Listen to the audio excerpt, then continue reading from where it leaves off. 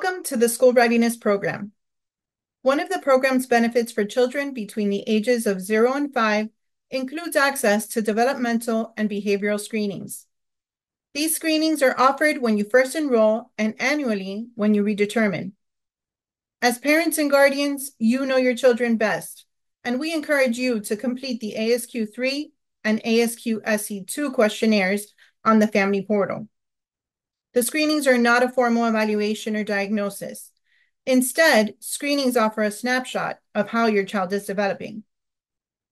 Once you enroll and sign your payment certificate, you will be asked to complete the screenings electronically.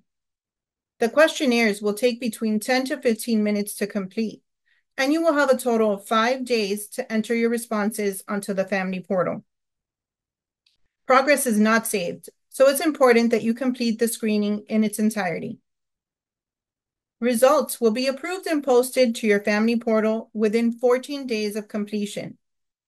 Any scores in the concern or monitoring range will be addressed. Please look out for an email or call to review those with you.